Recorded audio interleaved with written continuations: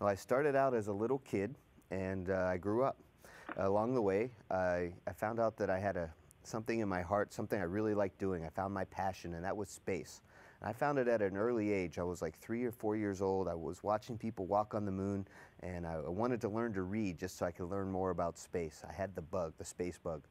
So in order to, to get to my goal of flying in space someday, I studied all that I could about space. I worked really hard at school. Uh, education is really important. I studied technical things, uh, and you know, science, math.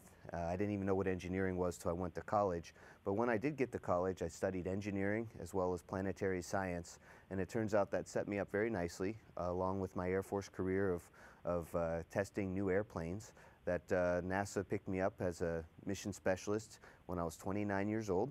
And uh, I spent a lot of time over in Russia working with the first parts of the International Space Station. And uh, finally, in 2004, I got my first trip to space. But it wasn't aboard a space shuttle. It was aboard, it was aboard uh, the Russian Soyuz spacecraft. And I'll tell you what, it was uh, the first time I saw the Earth from space was just so beautiful.